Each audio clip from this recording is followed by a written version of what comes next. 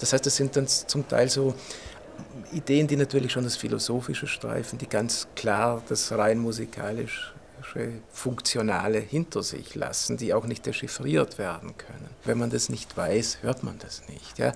Aber es gibt diese Ebene, die mir halt sehr, sehr wichtig ist, weil ich glaube, dass es auch darum gehen muss, eine Stimmigkeit zu, zu erzeugen, die halt über das rein Unmittelbare hinausgeht.